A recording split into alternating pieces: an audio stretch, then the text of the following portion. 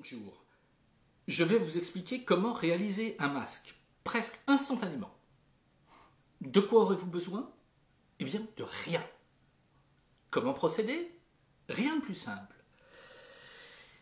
À l'aide de la main gauche ou de la main droite, vous appuyez fermement le majeur contre le pouce, donc de la main gauche ou bien de la main droite, et il suffira de d'y croire, d'y croire bien sûr, et je vous fais la démonstration.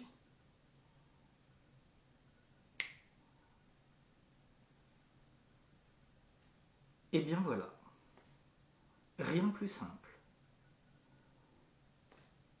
Au revoir.